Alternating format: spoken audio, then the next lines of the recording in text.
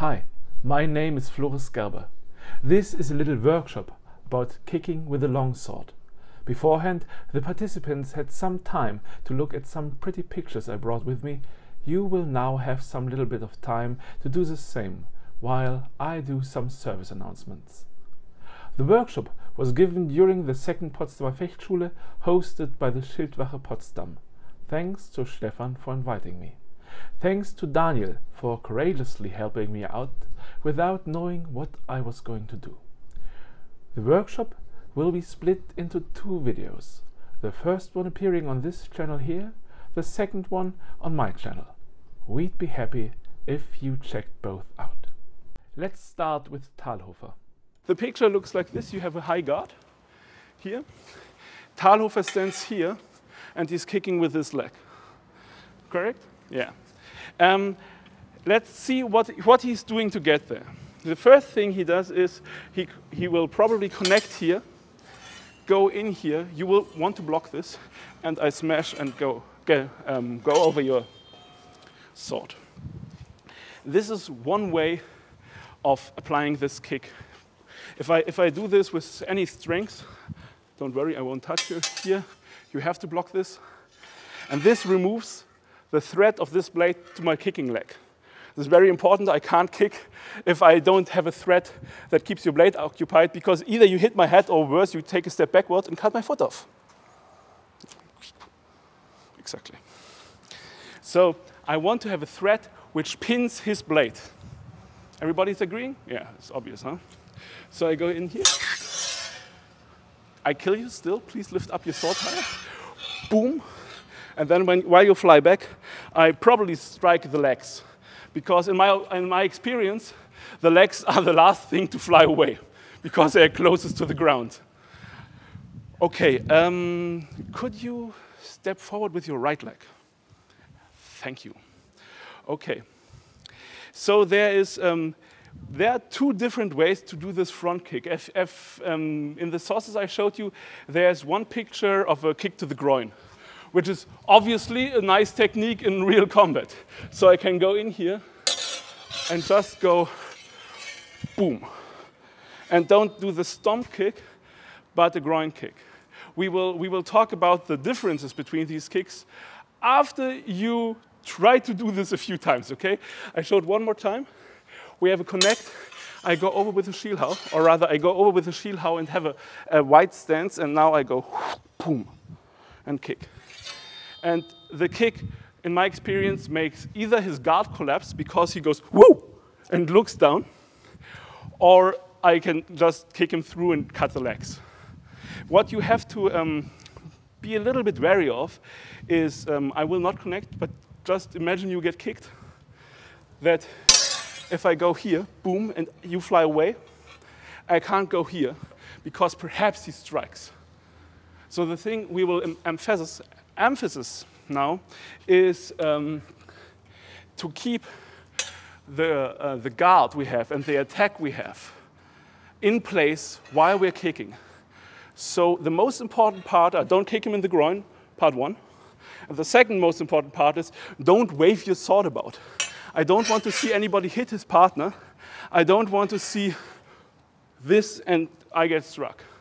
Okay, keep, this, um, keep the strike and the guard in place. Let's go.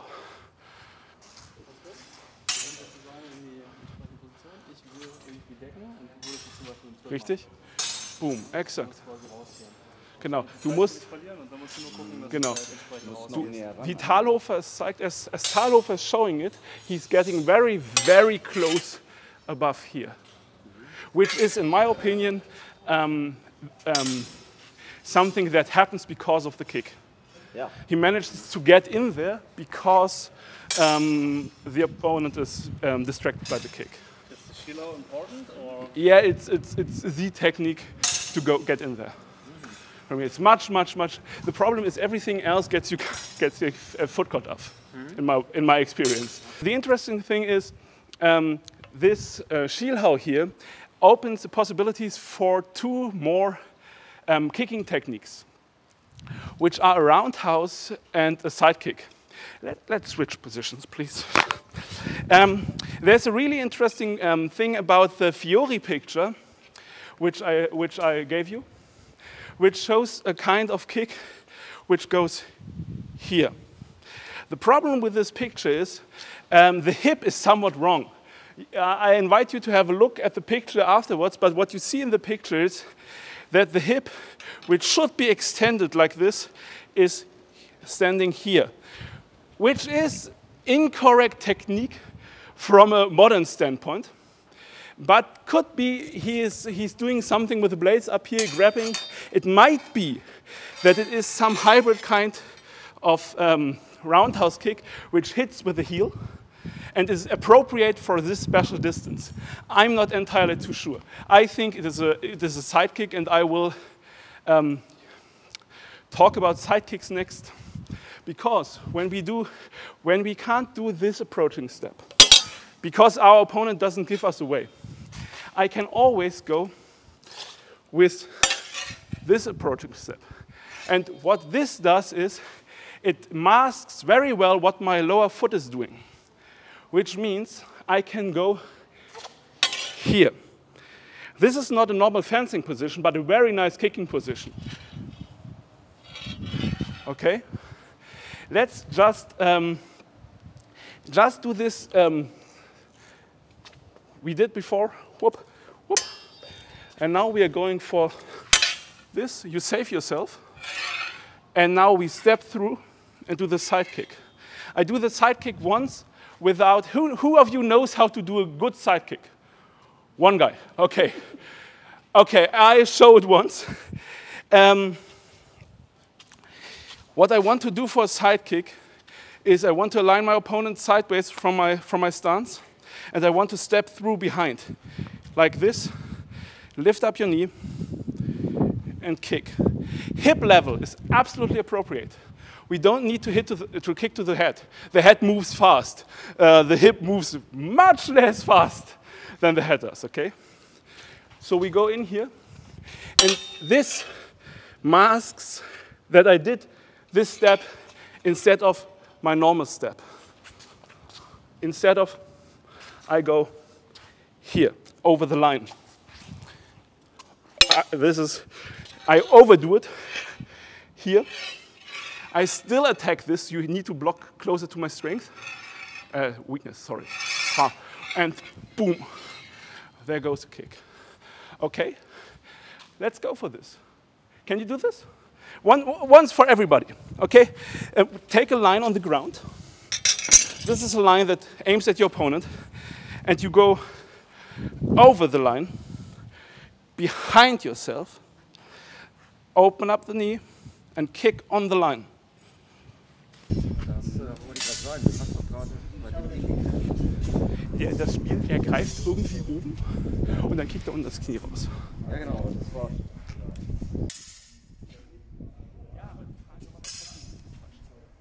Guck dir die, hüpft auf den Bild an, ist einfach falsch. Wie man da reinkommt. Das, ist, das kann alles Mögliche sein. Ich denke, was gezeigt ist, ist ein Zeitkick, weil die Sohle trifft. Weil ein Roundhouse-Kick mit dem Hacken zu treffen, ist ziemlich dämmschwer. Ja, richtig. Deshalb, normalerweise würdest du einen Halbkreisfußtritt genau. so setzen. Wir reden gleich über Halbkreisfußtritte.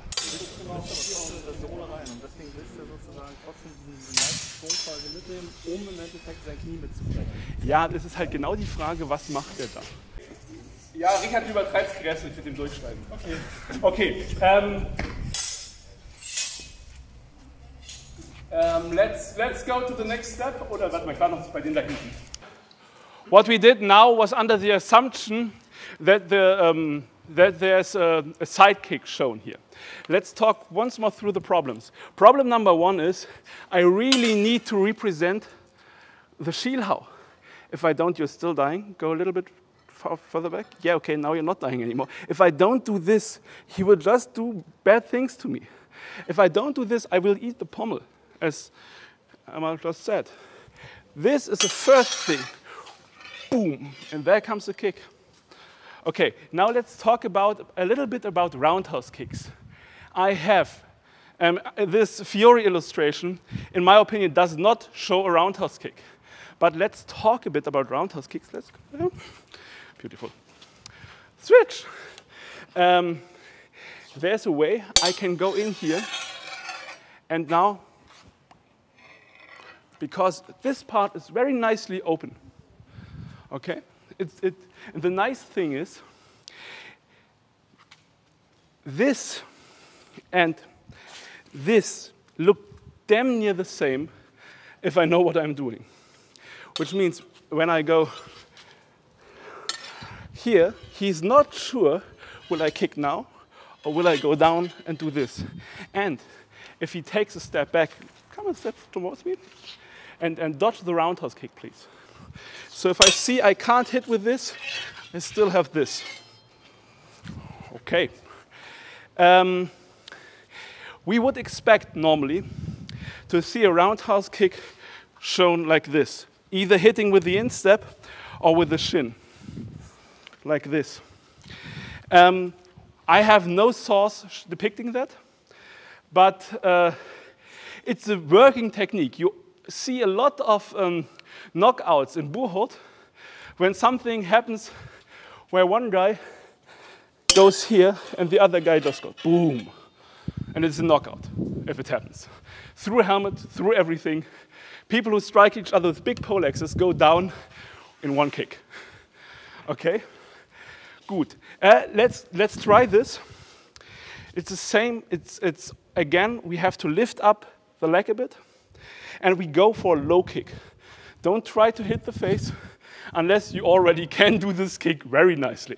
Okay, lift up and go, boom, here. Don't go to the groin, go here. Okay, once more, go here, boom, for now. In reality, I aim for here and I aim under the shoulder because I hit here, even if you wear heavy armor, if I hit you under the chin, it's lights out, and under the arm, it's probably a broken rib. I want to put my left foot outside of this line.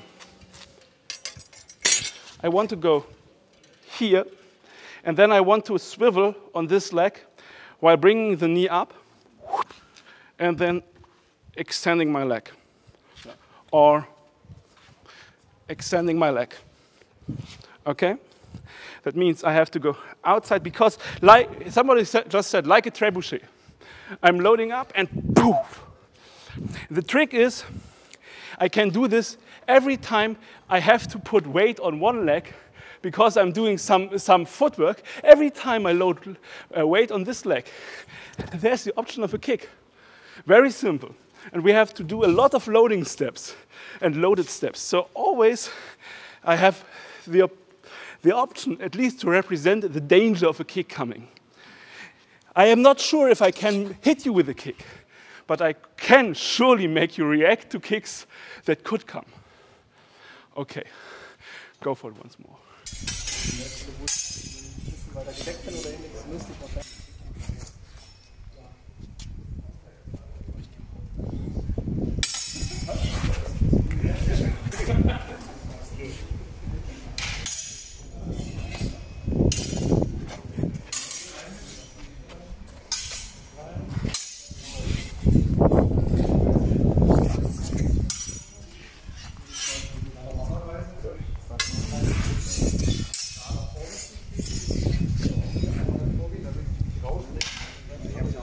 What I've seen looks quite okay for how difficult it is. Um, the simple stomping kick is obviously easier, but the opponent has often an easier time to dodge it. Um, when I see that my opponent is too far away, can you please stand with the right foot forward? Thank you. When I see he's too far away, I just go a little shuffle step here, just close in. Okay? Um, let's talk about um, defensive kicking. Offensive kicking is all very nice, but I think defensive kicking is where, um, where it really, really gets interesting. Because I hope you liked this small workshop enough that you will come to my channel and watch the second half. If you liked it, then pommel the subscribe button and somehow the bell icon. And with that, Messiahs, a good day to you.